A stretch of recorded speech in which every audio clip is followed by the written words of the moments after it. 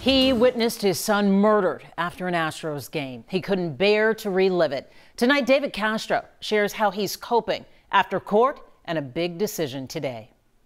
It was middle of last week when we got told that there might be a possibility for this to happen. What happened was a plea deal for the murder suspect in 17 year old David Castro's shooting death after an Astros game. A judge sentenced road rage shooter Gerald Williams to 30 years today before dad Paul Castro and family in court. 30 was our minimum, um, and 30 seemed to be their maximum, and so it just happened to be um, that. But it's so weird bartering my son's life, you know, with years for a, a convicted felon who went on and committed another crime. It's it's surreal. That night and the past 18 and a half months have been so very painful. Not a day goes by where I don't have images from that night flash before my eyes. Paul Castro wanted to avoid piling on. If it meant that we didn't have to put ourselves through the, the rigors of a trial, we didn't have to go through the nightmare again, didn't have to hear, you know, any lies that he might tell from the stand.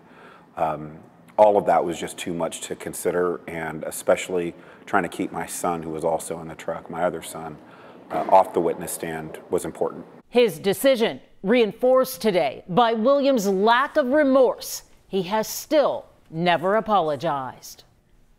Paul Castro tells us Williams will have to serve at least 15 of the 30 years he's been sentenced to.